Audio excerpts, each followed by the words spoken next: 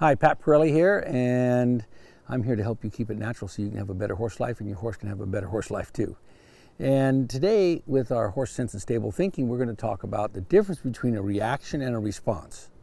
All right, a reaction is something like that. A response is, why, sure, I would love to do it. I don't think I need to say anything else. You know, they say a picture's worth a thousand words, a video's worth a million words.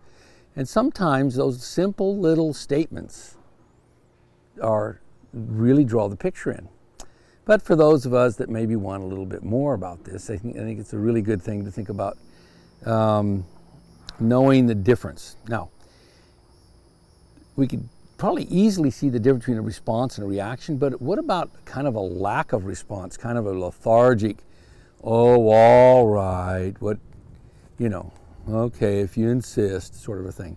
So I think the thing is to look at the quality of of what is um, being given, okay?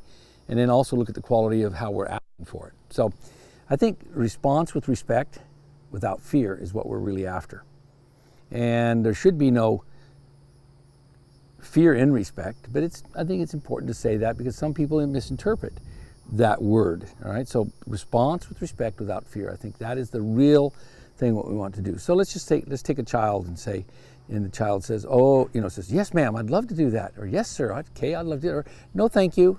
All right, that's a nice response instead of a um, kind of a slowly slothy one like, "Oh, all right, mm, off we go." Then or, you know, "Okay, yes, ma'am, I'm sorry, I'll go, I'll do it." See those differences there? In, in the end, whatever you were asking is going to kind of get done but I think it's really important there. So now, the I think the quantity or the you know kind of a qualitative score. So I like to give a 10 the best, uh, you know zero the worst, something like that. And and if you wanted to go below zero, you could have it where some horse actually does something dangerous, like kicks at you when you do something, ask it to do something, yield the hindquarters or play the hide the hindy game or send it off in the circle into the circling game or go sideways. So let's just start with the positives. all right, so I think the minimum I, I'm after is a seven. So rhythm, relaxation, and understanding are what give me the indicator that that's what we're after. So if we get a seven, you know, it's like, yes, ma'am, I'd love to do that for you. Is there anything else you'd like? Or, you know, a nine would be, yes, ma'am, or yes, sir, I'd love to do it with enthusiasm, with exuberance. All right.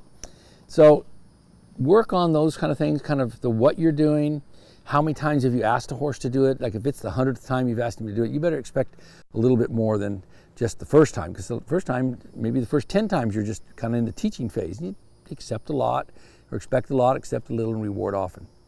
So all of these things end up being the thing that we're after that really gets this the beauty of what we're doing, and it's the magic. And just never remember or never forget just how the word equus means equal us and really treat our horses as equals, not as, you know, humans are better and horses are lower or anything like that. We really treat it to where we've got that real unity, that real partnership.